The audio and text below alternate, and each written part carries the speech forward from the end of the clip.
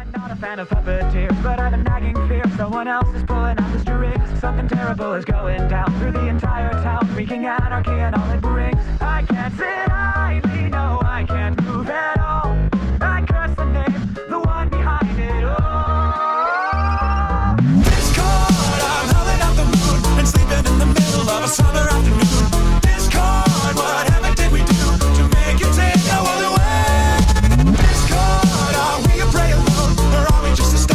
Take it back.